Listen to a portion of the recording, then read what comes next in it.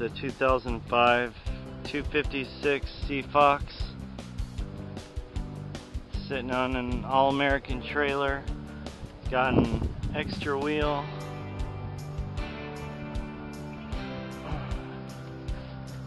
Hull shines. Wheels are in good shape. Got a little Sea Fox graphic on it. Interesting name. It's got a Mercury 225 EFI on it.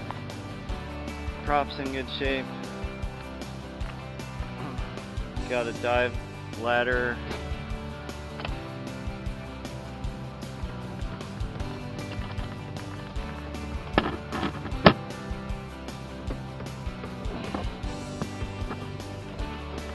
Dive door. Those are the coaming pads I laid on the ground. They're removable. It's got a Magma fish cleaning table.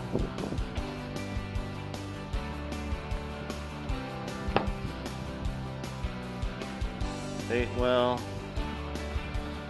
Storage.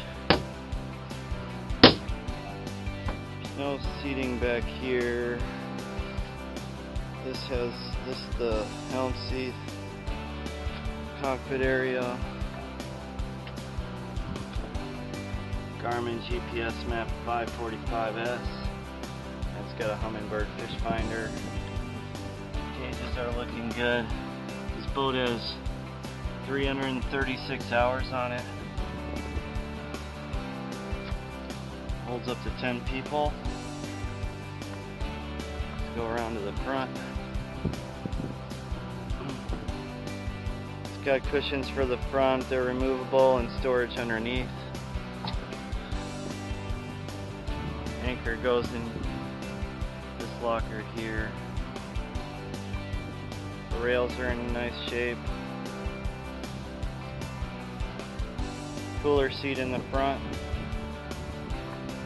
It's got spreader lights the front and back.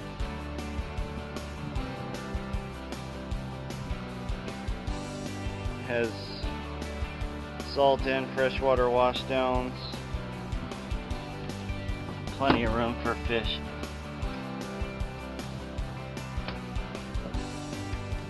As you can see.